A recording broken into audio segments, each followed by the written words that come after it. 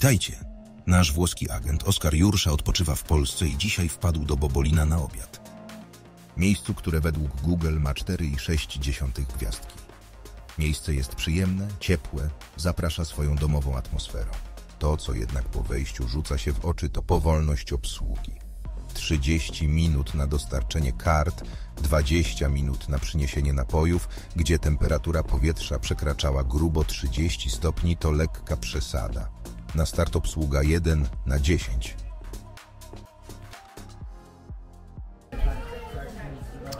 Moi drodzy, jestem w Gospoda Obora i dzisiaj zobaczymy, jakie pyszności nam tutaj zaserwują.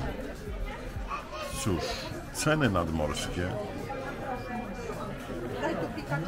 Zobaczymy, co dalej.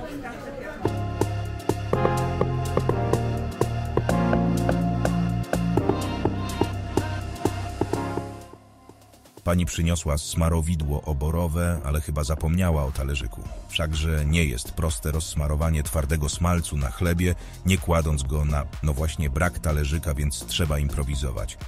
Obsługa wypada bardzo słabo w tym miejscu.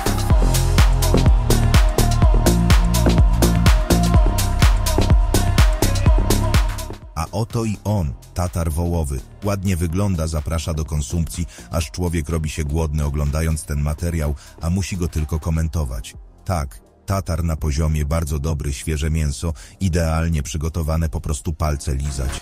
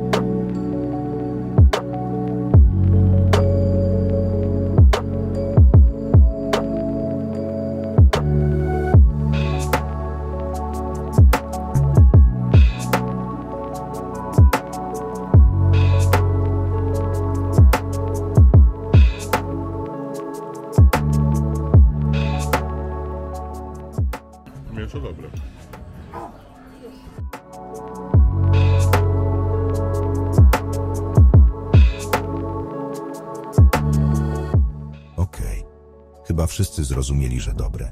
Jako, że zrobiłem się głodny, to teraz czas, aby włoski agent Oskar Jursza zrobił małe podsumowanie, a ja dziękuję za uwagę i wasz czas i proszę o lajka i suba.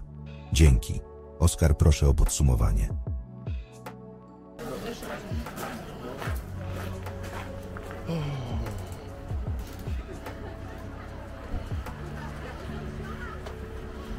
Moi drodzy, miejsce to jest e, fajne. O dziwo, dobrze się tu je, ale obsługa pozostawia wiele do życzenia. Obsługa to niestety tutaj są młode panny, które śpią, które są bardzo, bardzo powolne w obsłudze. Ta obsługa jest po prostu na 1 na 10. Są takie e, ospałe. Nawet człowiek musi iść do nich, żeby móc zapłacić, bo nie, zanim ogarną, żeby przyjść z rachunkiem do stołu, to już mija następne 30-40 minut. Ale powiem Wam szczerze, miejsce godne polecenia, bo jeść tu się naprawdę dobrze. Do jedzenia nie można się przyczepić, no, no nie można. Ale obsługa taki, taki niesmak pozostawia. Trzymajcie się.